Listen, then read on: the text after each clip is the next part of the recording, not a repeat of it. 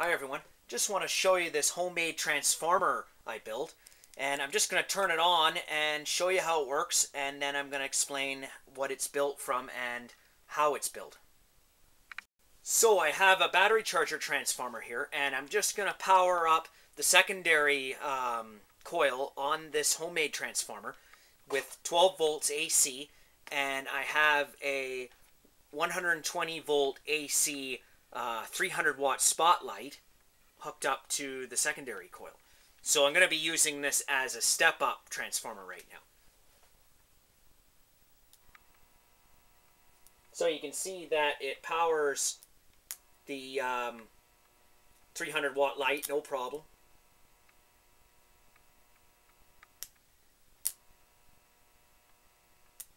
So now I've just hooked up a cord to the primary coil on the homemade transformer and I'm just going to plug it in and then take some voltage readings. So you can hear it has a nice healthy hum to it.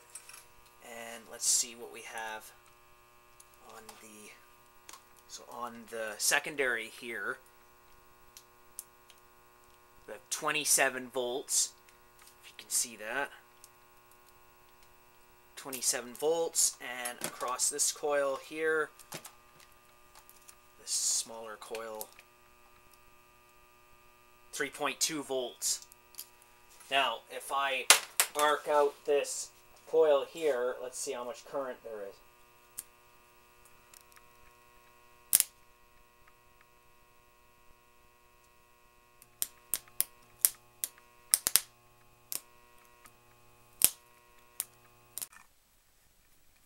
Now, what I built this transformer out of was a half horse electric furnace fan motor, um, also called a squirrel cage motor or an induction motor. And you can see the sticker on here. And this was the stator from the electric motor. You can see all the little channels where the windings went through. And what I've done is I've just unwound this stator and I've just wrapped in the coil winding from the stator, from the uh, electric motor. This is the heavier wire inside the motor. Um, there was also a thinner wire and a really tiny wire as well.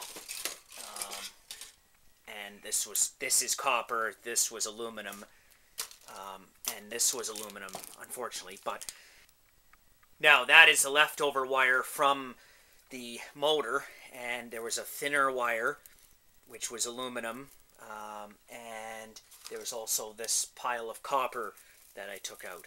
And this is all copper. It's fairly thin. Could be reused for something. So how I wound this transformer was I used the coil winding from the induction motor and I've wrapped it, started from one side and I went wrapped around this stator and I went from one end and then back and back and forth, back and forth, and wound in the entire uh, roll of the wire from the the uh, from the motor. And you can see there's I'm not sure how many turns. I, I, I think there was about 180 turns. I'm not sure. That's just approximate um, number. And then I've used just household. This is 12 gauge wire.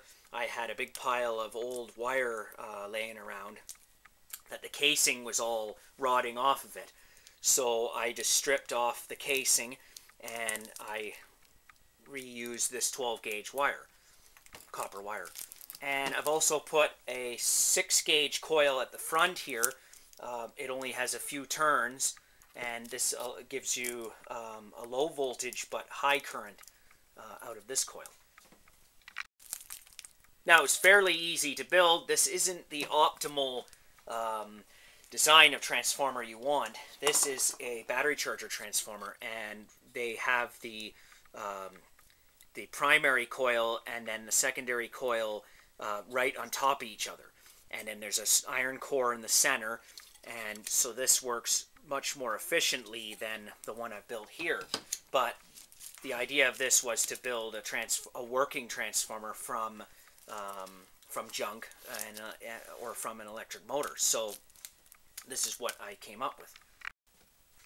Well, that is my homemade transformer built from an electric 120 volt motor. Thank you for watching.